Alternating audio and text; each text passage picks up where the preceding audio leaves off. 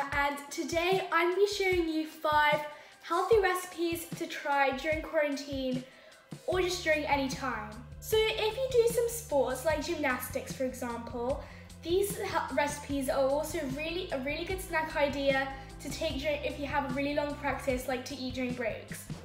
Okay, so the first thing that we're gonna make is a fruit salad. And these are a really good snack because like you can have it any time of day. Another great thing about fruit salads is you can be as creative as you want with it. Like there's not like a specific list of ingredients that you have to have. For this, what you're gonna do is you're gonna get some like fruits or berries or like vegetables if you want to put in your fruit salad. You're gonna like chop them up. In my fruit salad, I'm gonna have some raspberries that can already go in the bowl because they don't need to be chopped up a banana and some kiwis. You're gonna need some sort of yogurt. Now I'm gonna chop up my bananas and kiwis and put them in the bowl.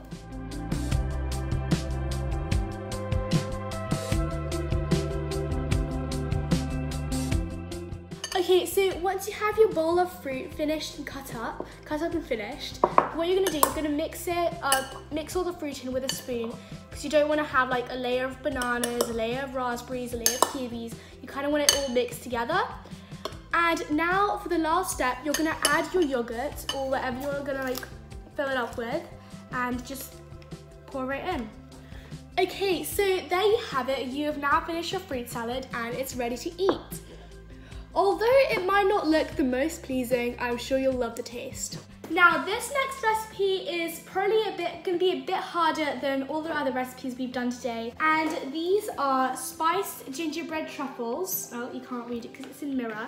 But yeah, so they're spiced gingerbread truffles and I got this recipe from this book about how to eat brilliantly every day. For this recipe, what you're gonna need is you're gonna need the zest of one orange, two tablespoons of orange juice. You're gonna need some ground cinnamon, ground ginger, 50 grams of ground almonds, three centimeters of ginger, also grated, the seeds from one vanilla pod, which looks a bit like this, 20 dates, and the last two things you're gonna need is 100 grams of chocolate, and this, because this is like a healthy recipe sort of video, this should be like over 70%, so it's not like that sugary.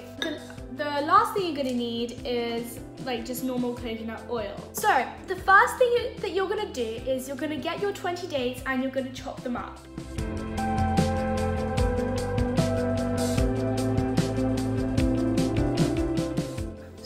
Once you've got all your ingredients ready and you've chop, chopped up your dates, you're gonna put all of it into like a food processor because what you're gonna need, these sort of smoothie blender things. So you're gonna put all of it into a food processor except for the coconut oil and the chocolate because that comes in later. Okay, so once you've done that, you're gonna close the lid of the food processor and just blend it until it turns into like a sort of, it all mixes together and you can't really tell the ingredients apart. Okay, so once you finish, you're gonna put the put like the mixture, but should look a bit like this, into the freezer for 30 minutes. Now, once these things are out of the freezer, then what you're gonna do, you're gonna get a bit of it and you're gonna make it into a ball just with your hands, like this, and put it on a chopping board.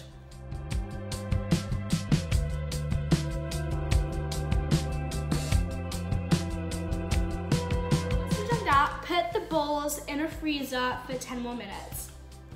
Okay, so for the next bit, you're gonna need to use an oven. And what you're gonna do, you're gonna get a, is this a saucepan? Yeah, this is a saucepan. You're gonna get a saucepan and fill it up with water about like half the way. And you're gonna get your like a double boiler. That's what it's called, right? Yeah, it's a double boiler. And put your chocolate and your coconut oil inside.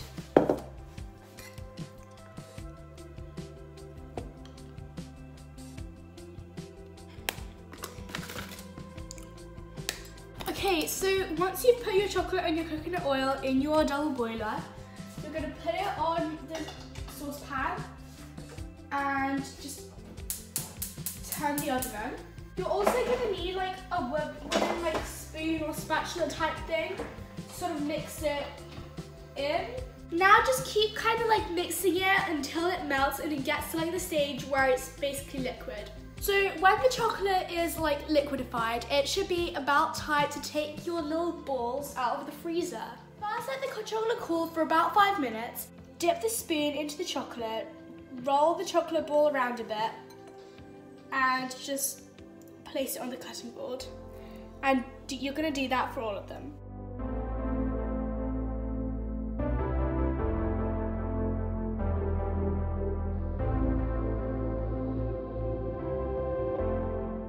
Once you finish, your balls should look a bit like this. And now you're just gonna pop through the fridge for the chocolate to harden. Now, this last recipe is for all the leftover chocolate. So what you're gonna do, you're gonna get some nuts and just repeat the process that we did for the balls. Get the nut, put it on a spoon, dip it into the chocolate, and just like put it on a cutting board. And then just put them all in the freezer until the chocolate hardens.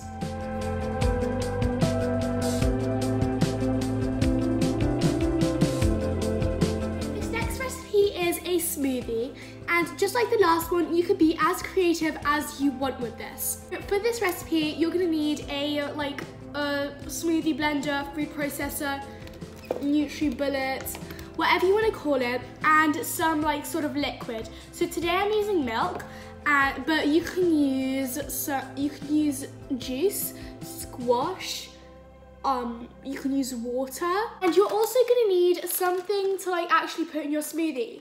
So this can be like fruits, berries, vegetables. You can put like chocolate and stuff in there, but this is like a healthy recipes video, so you shouldn't, because that's not very healthy. With the ingredients, it doesn't really matter how small the pieces are. Like with my banana, I'm just gonna like split it into like three pieces and pop it in there. Um, but don't like like I'm not gonna just put a whole banana in there because it's not really gonna blend.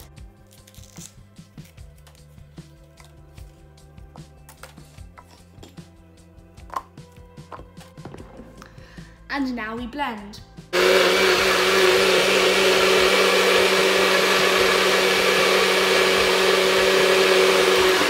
So now you are finished with your smoothie and time to drink. For the next recipe, you could also use part of your smoothie because the next recipe is ice lollies.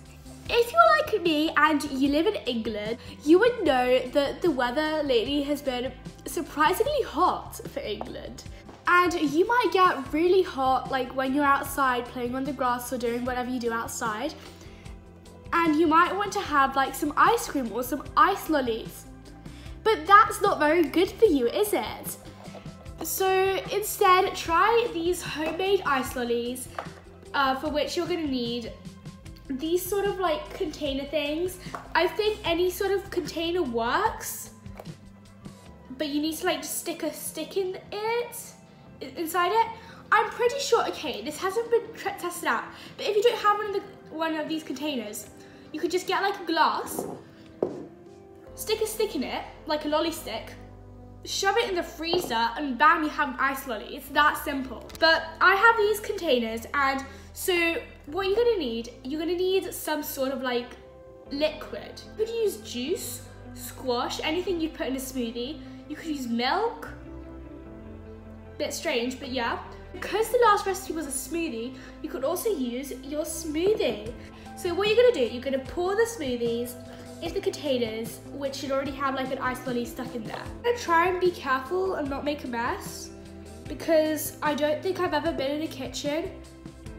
Wait, I, I wanna drink that. I don't wanna waste that smoothie. Okay, I don't think I've ever been in the kitchen and actually cooked something where I haven't like made a mess of the entire thing.